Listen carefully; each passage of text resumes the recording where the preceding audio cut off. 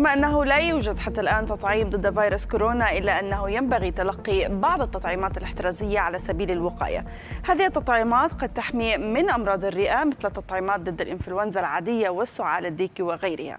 وتمثل هذه التطعيمات أهمية كبرى لبعض الفئات مثل الأطفال وكبار السن وأصحاب الأمراض المزمنة وذلك بسبب ضعف جهاز المناعة لديهم. للمزيد تنضم إلينا من الرياض الدكتورة ألفت العامري استشاري المناعة ومديرة برنامج التحصين الوطني في المركز الوطني للوقاية من الأمراض في الرياض. دكتورة ألفت حياك الله. يعني خليني مبارك عليك الشهر وخليني أرجع إلى البدايات بدايات كورونا. يعني كانوا يقولون أنه الباراسيتامول خط أحمر لا تأخذونه لأنه يفاقم وضع مريض كورونا. اليوم هناك يعني هذه الدعوة إلى التطعيمات الواحد يحصن نفسه فيها في مواجهة كورونا. ما هي هذه التطعيمات وإلى أي مدى؟ بالفعل يعني أثبتت عدم خطرها على الإنسان فيما لو تحور الفيروس. طيب السلام عليكم. عليكم السلام, السلام. السلام عليكم جميعا وأسعد الله صباح صباحكم بكل خير. آه طبعا إلى الآن للأسف آه ما في أي لقاح ممكن يحمي ضد ضد كورونا. يعني آه اللقاحات هي جدا مهمة ومن أهم إنجازات الصحية على مستوى العالم للوقاية من الأمراض ومكافحة العدوى. وتعد طبعا اللقاحات هي أنا أعتبرها من أهم الخدمات الصحية الأساسية التي يجب منحها الأولوية. وأعطيكم مثال على ذلك يعني مثلا عندنا الجدري ال smallpox.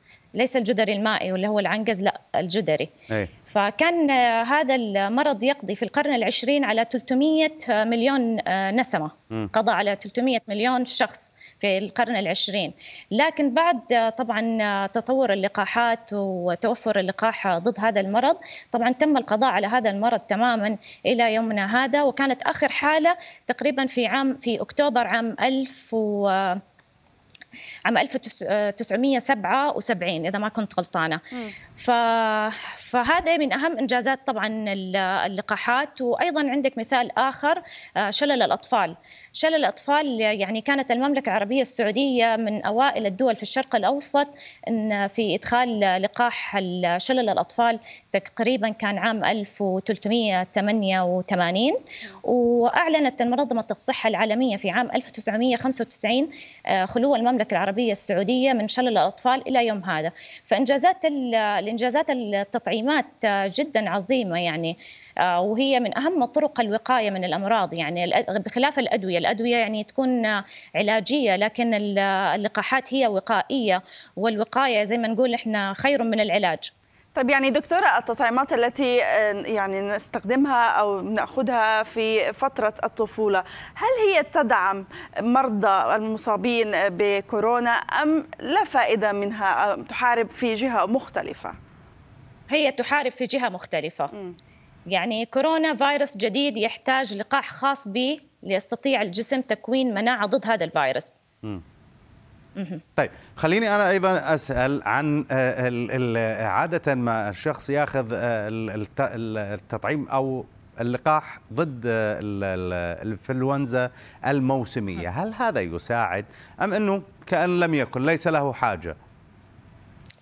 هو هو له حاجة ولكن إيه؟ ليس للكوفيد أيه. هو له حاجة للحماية من الإنفلونزا ومضاعفات الإنفلونزا وليس لكوفيد. طيب هذا الفيروس معروف من عائلة واحدة، هل من الممكن إنه الإنسان يأخذ له تطعيم أو على الأقل هذه التطعيمات تساعد في الحماية من مثلا بعض الأمراض اللي كورونا اللي اللي اجتاحت بالسابق أو أصابت الناس؟ يعني كوفيد من عائلة كورونا وليس من عائلة الإنفلونزا. م.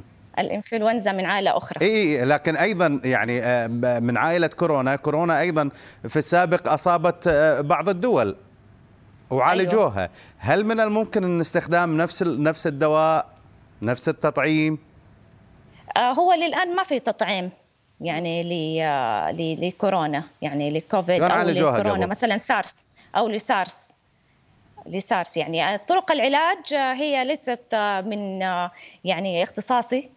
ولكن أنا مختصة في علم المناعة وفي اللقاحات فلكن أنا أقدر أقول لك إنه اللقاحات لا تمنع يعني آه، لا الموجودة حاليا لا تك لا تعطي الحماية لكوفيد. طيب دكتور دور التطعيمات في مكافحة الأمراض بشكل عام وتعزيز الصحة العامة، إلى أي مدى تفيد كل الأشخاص الذين أخذوا هذه التطعيمات أو اللقاحات؟ طبعا طبعا اللقاحات زي ما أنا يعني ذكرت قضت على بعض الأمراض وطبعا تحمي من كثير من الأمراض إلى 13 14 تقريبا آه، مرض وكانت وتحمي الأطفال في الفترة العمرية اللي هي أقل من خمس سنوات من عند الولاده منذ الولادة إلى عمر سنتين لأن هم هذه الفترة م. الأطفال أكثر عرضة لل... لل... للأمراض المستهدفة بالتحصين فيجب استكمال التطعيمات لهم في خلال هذه الفترة عشان نعطيهم الحماية الكافية لعدم تعرضهم للعدوى للامراض المستهدفة التحصين وتعريضهم للمضاعفات والخطر وبعض الأحيان إلى الوفاة لا سمح الله. طيب لا تخفف من أعراض كورونا حتى؟ لا. طيب خليني أيضا أسأل عن التطعيمات. العادة إنه دائما أي تطعيم جديد يكون في أي مجتمع في هناك ردة فعل متخوفة من إنه هذا التطعيم قد يؤثر على أشياء له أعراض انسحابية مستقبلا. كيف من الممكن أن نقنع الناس بأنه التطعيم الثلاثي للأطفال الصغار هذا مفيد على المدى البعيد؟ إلى آخره من هذه التطعيمات. آه، طبعا التطعيمات آه، لها أعراض جانبية ولكن نادرة مثل الأدوية بالضبط. الأدوية لها أعراض جانبية ويمكن اللقاحات كمان أعراضها الجانبية آه، يعني يعني مرة قليلة مقارنة بالأمر بعض بعض الأدوية. آه، اللقاحات يعني اللقاحات يعني يعني بيتم عليها دراسة طويلة جدا. يعني تصل ساعات مدة الدراسة من 10 سنوات إلى 15 سنة حتى يتم آه، إنتاج اللقاح وتجربته على البشر أو إنه خلاص يعني يصير موج متوفر في آه، في المستشفيات فهذا آه، فأنا أقول إنه اللقاح جدا جدا آمن وما وبيتم عليه دراسات كبيرة اختبارات عشان يختبروا اللي هو السيفتي تبع الفاكسين. فلا يوجد أي تخوف جدا من من اللقاح.